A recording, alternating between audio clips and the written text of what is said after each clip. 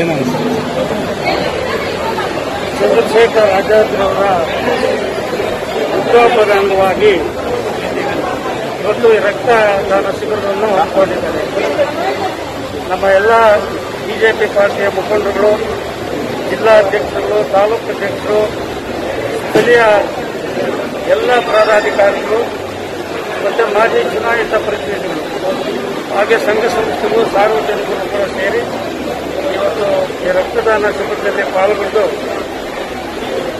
ಬಹಳ ಸಂತೋಷವಾಗಿ ಆ ಕಾರ್ಯಕ್ರಮವನ್ನು ದೀಪಾವಳಿ ಬೆಳೆಸುವುದರ ಮೂಲಕ ಉದ್ಘಾಟನೆ ಮಾಡಿ ಚಾಲನೆಯನ್ನು ಕೊಟ್ಟಿದ್ದೇವೆ.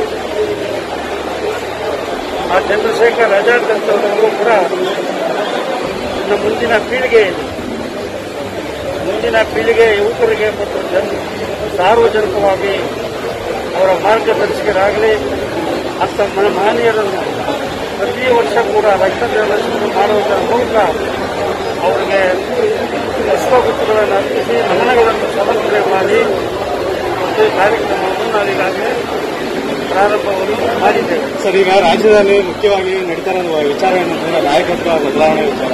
ಇದ್ರ ನಿಮ್ಮ ಅಭಿಪ್ರಾಯ? ಯಾವುದೇ ನಾಯಕತ್ವ ಬದಲಾವಣೆ ಇಲ್ಲ. ನಮ್ಮ ನಾಯಕರಾದಂಥ ಮಾನ್ಯ ಯಡಿಯೂರಪ್ಪನವರು ಮುಂದಿನ ಮೂರು ವರ್ಷಗಳು ಅವರೇ ಮುಖ್ಯಮಂತ್ರಿಗಳಾಗಿ ಇರ್ತಾರೆ. ಅದರ ಯಾವುದೇ ಅನುಮಾನ ಇಲ್ಲ. ಅದೇನಾದರೂ ಬದಲಾವಣೆ ಇದೆ ಅಂದರೆ ಅದು ಸುಮ್ಮನೆ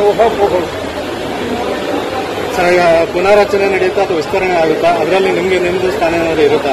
ಸಂಪುಟ ವಿಸ್ತರಣೆ ಅಥವಾ ಪುನರ್ರಚನೆ ಮಾಡ್ತಕ್ಕಂಥದ್ದು ರಾಷ್ಟ್ರೀಯ ಕಾಂಗ್ರೆಸ್ಸಿನ ಮುಖಂಡರುಗಳು ರಾಜ್ಯದ ಮುಖಂಡರುಗಳು ಅದನ್ನ ತೀರ್ಮಾನ ಮಾಡ್ತಾರೆ. ಸರ್ ಈಗ ಹೊಸಕೋಟೆ ಎಲ್ಲ ಕಾಂಗ್ರೆಸ್ ಮುಖಂಡರು ಒಂದೊಂದು ವಾರಕ್ಕೊಬ್ಬರು ಮೀಟ್ ಮಾಡ್ತಾ ಇದ್ದಾರೆ. ಹೊಸಕೋಟೆಗೆ ಕಾಂಗ್ರೆಸ್ ಮುಖಂಡರುಗಳು ವಾರಕ್ಕೊಬ್ಬರು ಭೇಟಿ ಕೊಡ್ತಾ ಇದ್ದಾರೆ. ಅದರಲ್ಲೂ ಕೂಡ ನಿಮ್ಮ ಎದುರಾಳಿ ಆಗಿರುವಂತಹ ಶರತ್ ಬಚ್ಚೇಗೌಡರನ್ನ ಕಾಂಗ್ರೆಸ್ಗೆ ಬಂದ್ರೆ ಹೆಗಲ್ನಲ್ಲಿ ತೋರಿಸ್ಕೊಂಡು ಹೋಗ್ತೀನಿ ಅಂತ ರಮೇಶ್ ಕುಮಾರ್ ಹೇಳಿದ್ದಾರೆ. ನಿಮ್ಮ ಅಭಿಪ್ರಾಯ ಸರ್? ಯಾವ ಪಕ್ಷಕ್ಕನ್ನ ಹೋಗಲಿ. ಅವ್ರು ಗೊತ್ತಿದೆ ಹಿಂದಿನಿಂದ ಕೂಡ. ಜೆಡಿಎಸ್ ಆಯಿತು, ಕಾಂಗ್ರೆಸ್ ಆಯಿತು, ಬಿಜೆಪಿ ಆಯಿತು ಇಂಡಿಪೆಂಡೆಂಟ್ ಆಯಿತು, ಮತ್ತೆ ಕಾಂಗ್ರೆಸ್ ಅರ್ಜಿ ಹಾಕಿದ್ದಾರೆ. ಅವರು ಒಂದೊಂದು ಚುನಾವಣೆಯಲ್ಲಿ ಒಂದೊಂದು ಪಕ್ಷ ಸೇರ್ಪಡೆಗಳಾಗೋದು ಮತ್ತೆ ಪಕ್ಷದಲ್ಲಿ ಚುನಾವಣೆಯಲ್ಲಿ ಇರ್ತಕ್ಕಂಥದ್ದು ಸೋಲೋದು, ಗೆಲ್ಲೋದು ಸಹಜವಾಗಿದೆ. ಮತ್ತೆ ಸಾರ್ವಜನಿಕರ ಜೀವನದಲ್ಲಿ ಯಾವುದಾದ್ರೂ ಒಂದು ರಾಜಕೀಯ ಪಕ್ಷದಲ್ಲಿ ಗುರುತಿಸಿಕೊಂಡು ಅಧಿಕಾರ ತಗೊಳ್ಳಿದೆ ನಾವು ಸತತವಾಗಿ ಆ ಪಕ್ಷದಲ್ಲಿ ನಾನೀಗ ಕಾಂಗ್ರೆಸ್ನಲ್ಲಿ ನಲವತ್ತು ವರ್ಷದಿಂದ ಕಾಂಗ್ರೆಸ್ ಕಾರ್ಯಕರ್ತನಾಗಿದ್ದೆ. ನಗರಸಭಾ ಸದಸ್ಯನಾಗಿದ್ದೆ, ಜಿಲ್ಲಾ ಉಪಾಧ್ಯಕ್ಷನಾಗಿದ್ದೆ ನೋಟಿಫೈಡ್ ಮೆಂಬರ್ ಆಗಿದ್ದೆ. ಐದು ಚುನಾವಣೆಗಳಲ್ಲಿ ನಿಂತೆ, ಮೂರು ಚುನಾವಣೆಗಳ ಶಾಸಕನಾಗಿ ಆಯ್ಕೆಯಾದೆ ನಲವತ್ತು ವರ್ಷ ಇದ್ದೆ ಆ ಸಮ್ಮಿಶ್ರ ಸರ್ಕಾರದ ಆಡಳಿತ. ಅಲ್ಲಿನ ಸರ್ವಾಧಿಕಾರ ದೇಶಕ್ಕೆ ನಾನು ರಾಜೀನಾಮೆ ಕೊಟ್ಟು ಬಂದೆ. ನಲವತ್ತು ವರ್ಷ ಒಂದು ಪಕ್ಷದಲ್ಲಿದ್ದೆ ನಾನು. ನಾನು ಯಾವುದೇ ಅಧಿಕಾರಕ್ಕೋಸ್ಕರವಾಗಿ ಆಸೆ ಪಟ್ಟು ಪಕ್ಷ ಪಕ್ಷ ಬಿಟ್ಟು ಹೋಗೋಣಲ್ಲ ನಾವು ಸಾರ್ವಜನಿಕರ ಜೀವನದಲ್ಲಿ ಸಾರ್ವಜನಿಕರ ಸೇವೆ ಮಾಡಬೇಕು, ತಾಲೂಕಿನ ಅಭಿವೃದ್ಧಿ ಮಾಡಬೇಕು, ಪಕ್ಷನ ಕಟ್ಟಿ ಬೆಳೆಸಬೇಕು ಪಕ್ಷನ ಸಂಘಟನೆ ಮಾಡಬೇಕು, ಕಾರ್ಯಕರ್ತರಿಗೆ ಶಕ್ತಿ ತುಂಬಿ ಕಾರ್ಯಕರ್ತರನ್ನು ಗುರುತಿಸಿ ಅವ್ರಿಗೇನಾದರೂ ಸ್ಥಳೀಯ ಚುನಾವಣೆಗೆ ಬಂದಾಗ ಅವ್ರಿಗೆ ಯಾವುದಾದ್ರೂ ಒಂದು ಅಧಿಕಾರ ಕೊಟ್ಟು ಪಾರ್ಟಿಯನ್ನು ನಮ್ಮ ಉದ್ದೇಶ.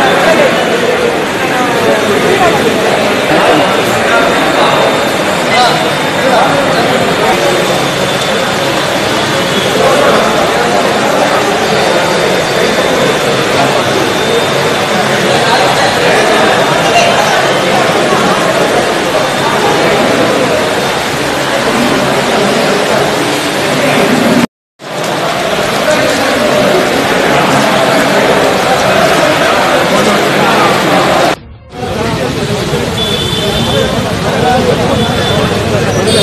you.